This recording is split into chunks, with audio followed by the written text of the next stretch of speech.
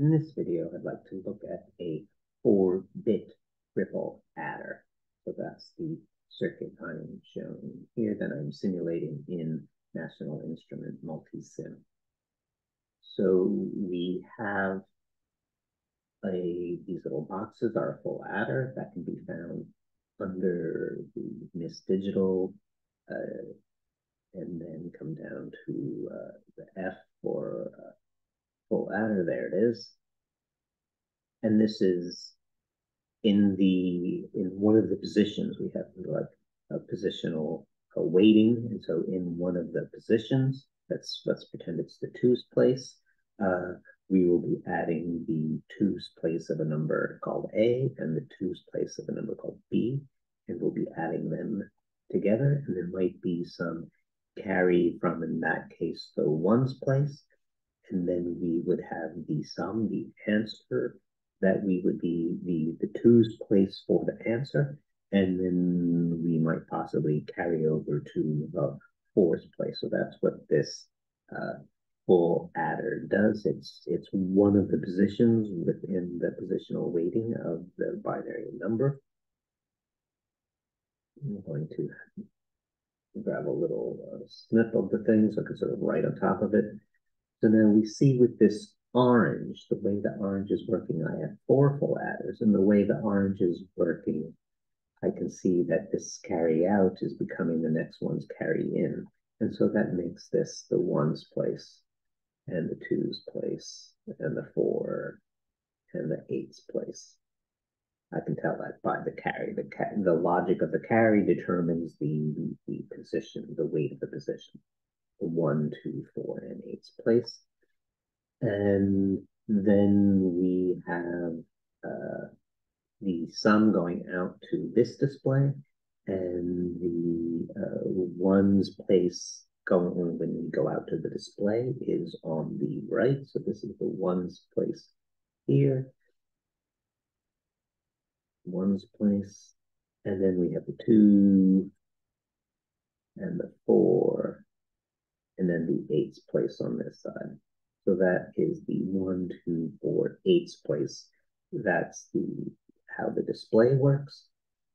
And the same thing here is these uh, purple wires are coming from the switches and they're all going into the A's of the full adders. So this number here is is A, and this number down here is B, and this is going into the ones place, so this makes it the ones place of A, and it is being displayed here. So this this is the A display. And again, we're respecting that the on the right is the ones place, and on the left is the eights place. And the B is the green wires are B, and now so this will be the display for B. So this will be A plus B will equal some sum. Okay, so that was me just drawing on top of it. Here's the real thing. Okay, I'm going to turn it on. Let's say I want to add something simple like 3 plus 4. And then I just find the numbers. So just going to use the calculator, make life easy. So here is my three I want to represent, and that will be low, low, high, high, going from this is the eights place, fours place, twos place, ones place. So it will be key uh, zero is the ones place, so I want a one in the ones place, and a two, a one in the twos place, which will give me three, and then if I'm adding that to four, that is a one in the fours place and a zero other place else. So that would be down here. D is the eight, four is D is the eights place, C is the fours place, B is the twos place, and A is the ones place. So if I click on C, so there's my three. A, these purple wires were A, this switch is one, one, zero, one, two, three. They are the A. They are set up to give me a three. Down here, the A, B, C, D, they are the B number, and they are set up to have four. That three and four are being added and being displayed here. So these are four-bit numbers. I'm going to, and I only have addition here, so I'm going to assume for now that my that my numbers that I'm representing are unsigned or positive only numbers. And if I have four-bit positive only numbers, then my range of numbers goes from 0 to 15, which in hexadecimal will be represented by an F. And if I exceed that range, I would like to know that. I would like to, to indicate that some overflow occurred. And so I'm going to add to this a simple little uh, overflow indicator. I'm going to get myself a probe, uh, let's say an orange probe.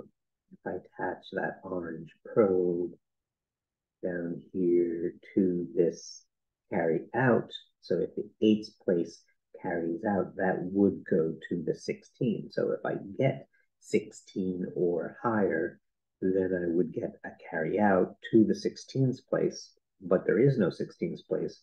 So that will instead serve as my indicator that I've left the range of numbers I can represent. It will indicate overflow.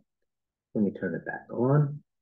And let me add, I think, uh, let's say 9 and 8 and that will give me 17 and be over the 16 and uh, indicate uh, overflow. So my 9 is 1001, so I want to make my uh, A number here. So I'm going to take the 1 down and the 3 up. So this is 1001, which is my 9. And then I wanted, uh, for the B number, I wanted 8. So I'm going to take C down and D up. There is my 8, and I'm adding 9 and 8, which will get me 17. Uh, I've exceeded my base of 16 by 1, so that's what's displaying the 1.